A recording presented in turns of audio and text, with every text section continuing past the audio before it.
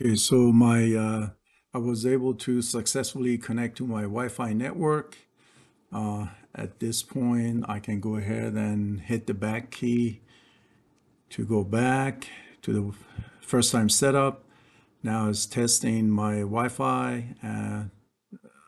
Connection was good. Also, the connection to the download server was okay. So the next screen, I can check for a software update.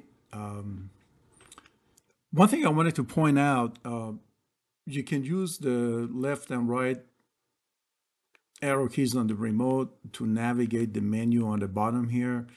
And at any point, you can skip a step if you don't want to, you know, for example, if you don't want to do a software update check, you can go ahead and skip and go to the next step.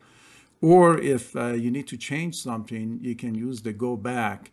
For example, if you want to use a, choose a different Wi-Fi network. Uh, if you want to use wireless instead of wired or wired instead of wireless, you can come back here and change your selection.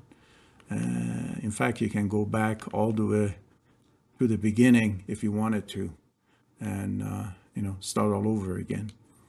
So let's go ahead and skip date and time since we've already done that. Skip uh, the internet connection, and let's go ahead and check for a software update.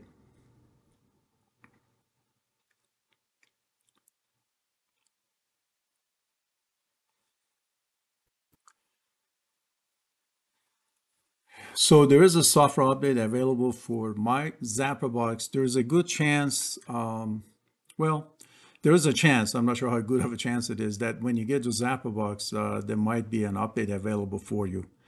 I know ZapperBox has uh, a lot of adding new features continuously.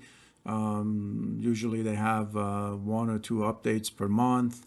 So I would go ahead at this point and uh, install the update.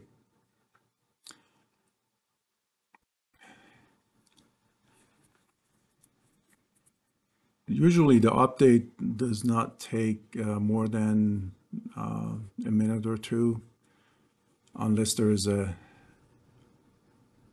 okay so the update is complete. My box is rebooting.